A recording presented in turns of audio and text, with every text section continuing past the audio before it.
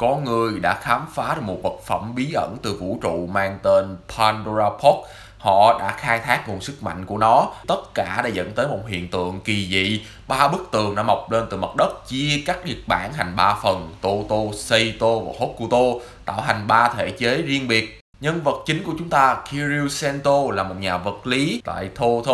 Anh ta mất đi tất cả ký ức của mình trong một quá khứ đầy bí ẩn. Anh không nhớ bất kỳ điều gì trước khi gặp ông chủ quán tốt bụng, người đã nhận nuôi anh cũng như giúp anh có chỗ ở và căn phòng thí nghiệm nhằm mục đích thanh tẩy những smart Smug là những con quái vật trong thế giới của Bill. Chúng thực chất là những con người được hấp thụ quá nhiều khi Nebula chuyển hóa trở thành những con quái vật vô tri tấn công loài người. Sento đã hoàn thành một hệ thống do thiên tài ác ma để lại, hệ thống Bill System cùng với hai lọ bottle. Hệ thống này cho phép anh dung hợp tinh chất từ một sinh vật hữu cơ cũng như là một vật thể vô cơ tạo chúng thành Color với những màu sắc đen xen nhau và combo đại diện tranh là Rabbit and Tank